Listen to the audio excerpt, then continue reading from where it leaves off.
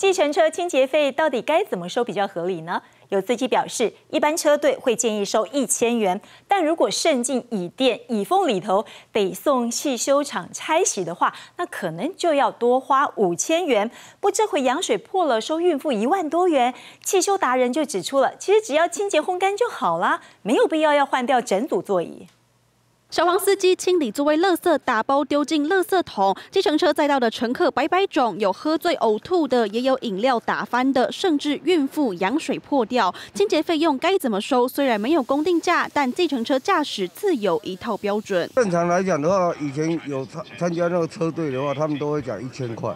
洗车就是七八百而已啊，再花那个时间一个小时三百块，顶多是一千一而已。司机一定是自己擦，有些是租车的，他怎么会整组？换掉了一万多块，那是太离谱了啦。一般来说都是去给人家整理啊，看多少钱啊。一般的话，一单一般一般都是。